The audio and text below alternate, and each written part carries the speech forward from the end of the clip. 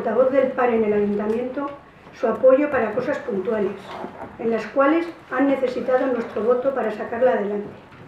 Dícese de los presupuestos del 2012, como han dicho antes las ordenanzas fiscales, pero no para la participación en la gestión como equipo de gobierno tal y como se acordó. Tenemos que agradecerles que hayan publicado esta revista, ya que de lo que están acusando al PAR de romper un pacto, en los apartados 2 y 4 se aprecia claramente que el que lo ha incumplido es el PSOE.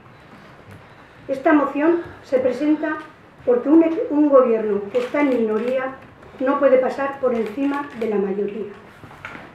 No es momento para extendernos y exponer lo que este nuevo equipo de gobierno va a realizar y ejecutar, pero el PAR sí que quiere dejar claro que se ha tomado esta decisión es solo y exclusivamente para trabajar por nuestra ciudad, que es lo que nos han elegido democráticamente en las urnas las pasadas elecciones. En lo que llevamos de legislatura, no se nos ha permitido por el PSOE ejercer ese derecho que como concejales tenemos y que al mismo tiempo es nuestra obligación.